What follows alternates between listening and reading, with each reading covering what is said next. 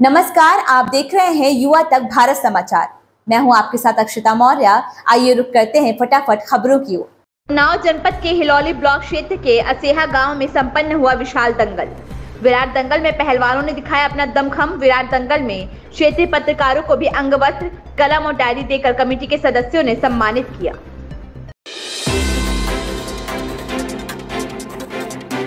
महाराष्ट्र विधानसभा चुनाव 2024 के लिए महाविकास अघाड़ी के बीच सीट शेयरिंग फाइनल हो गई है। करीब चार घंटे तक तीनों पार्टियों के नेताओं की बैठक चली। इसके बाद तीनों दल एक नतीजे पर पहुँचे। बैठक के बाद शिवसेना उद्धव के नेता संजय राउत ने कहा कि एमबीए में सीट शेयरिंग फाइनल हो चुका है। हालाँकि अभी इसकी आधिकारिक घोषणा नहीं हुई है। सूत्रों की माने तो कांग्रेस एक शिवसेना यूबीटी पंचानबे और शरद पवार की अगुवाई वाली एनसीपी पचासी सीटों पर चुनाव लड़ेगी। वहीं छोटे दलों को तीनों दल अपने कोटे से सीटें देंगी। इस बात पर भी सहमति बनी हुई है। झारखंड में चुनाव के मद्देनजर जेडीयू के प्रदेश प्रभारी खीरू महतो के बेटे दुष्यंत पटेल ने पार्टी से इस्तीफा दे दिया है, क्योंकि मांडू सीट एनडीए गठबंधन में अजासू के पास चली गई। वहीं बिहार के मुख्यमंत्री नीतीश कुमार झारखंड में एनडीए उम्मीदवारों के समर्थन में प्रचार करेंगे। वे सरयू राय और राजा पीटर के समर्थन में प्रचार करेंगे। हरियाणा में पूर्व उप मुख्यमंत्री ताऊ देवी लाल की पार्टी इंडियन नेशनल लोकदल का स्थायी चुनाव छीनने की तैयारी में चुनाव आयोग है। यह फैसला लगातार दो विधानसभा चुनाव में खराब प्रदर्शन, चुनाव आयोग के नियमों को पूरा नहीं करने के कारण लिया गया है। बॉलीवुड के मशहूर अभिनेता सलमान खान के साथ इस समय जो कुछ भी हो रहा है उसके बारे में किसी को नहीं पता। साल 2024 सलमान खान के लिए कुछ खास नहीं रहा। ईद के पास से सलमान खान को लगातार धमकियाँ मिल रही हैं। अप्रैल माह में पहली बार सलमान खान के घर के ऊपर गोलियाँ चलाई गई थी। बात यहाँ तक नहीं रुकी। फिर उसके बाद हमलावरों ने सलमान खान के दोस्त बाबा सिद्दीकी को दशहरा वाले दिन उनके बेटे के दफ्तर से आते समय गोलियों से भून दिया।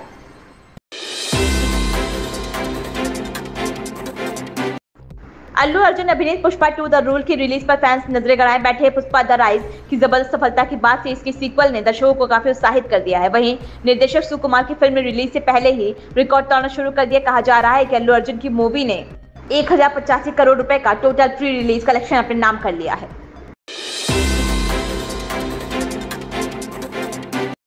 उत्तर प्रदेश में 10 सीटों पर होने वाले उपचुनाव में इंडिया गठबंधन में सीट बंटवारे को लेकर तस्वीर अब साफ़ नहीं हो सकी है। सपा और कांग्रेस के बीच सीट को लेकर तनातनी जारी है। इस बीच खबर सामने आ रही है कि बीती देर रात राहुल गांधी और अखिलेश यादव में इस मुद्दे पर बात हुई।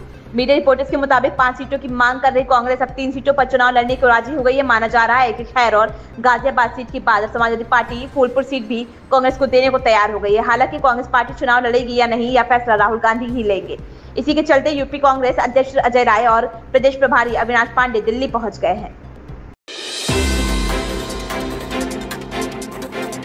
यूपी में शत्रु संपत्तियों पर चारा उत्पादन और पशु संरक्षण केंद्र खोले जाएँगे। इसके लिए प्रदेश सरकार ने केंद्रीय गृह मंत्रालय से इन संपत्तियों का ब्यौरा मांगा है। इस योजना में ज़मीन केंद्र सरकार मुहैया कराएगी, जबकि उन पर ज़रूरी सुविधाएँ विकसित करने की ज़िम्मेदारी प्रदेश सरकार उठाएगी। उत्तर प्रदेश में सात हज़ार छह सौ चौबीस गौशाले स्थानों में 12 लाख से ज़्यादा गौवंश है। पशुओं की संख्या को देखते हुए प्रदेश में हरे चारे की कमी है। इसके लिए नए नए स्थान तलाश करने की योजना है, ताकि वहाँ हरे चारे से उत्पादन के साथ ही कृषि गर्भाधान व शोध केंद्र भी स्थापित हो सके।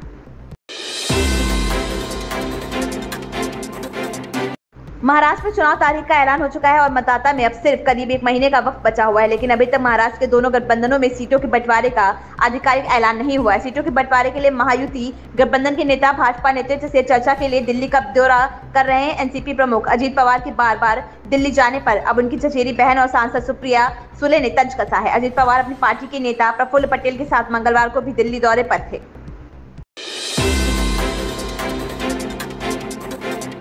अयोध्या में इस बार भी दीपोत्सव का विश्व रिकॉर्ड बनाया जाएगा। राम की पौड़ी पर 25 लाख दीप एक साथ जलाकर विश्व रिकॉर्ड बनाया जाएगा। वहीं अयोध्या नगर क्षेत्र में भी 10 लाख दीप जलाए जाएँगे। इस तरह 35 लाख दीप जलाए जाएँगे। राज्यपाल आनंदीबेन पटेल व मुख्यमंत्री योगी आदित्यनाथ श्री राम जानकी व लक्ष्मण स्वरूप का पूजन करेंगे। इसके साथ ही श्री राम का प्रतीकात्मक राज्यभिषेक किया जाएगा। इन खबरों में बस इतना ही। बने रहिए युवा तक भारत समाचार के साथ।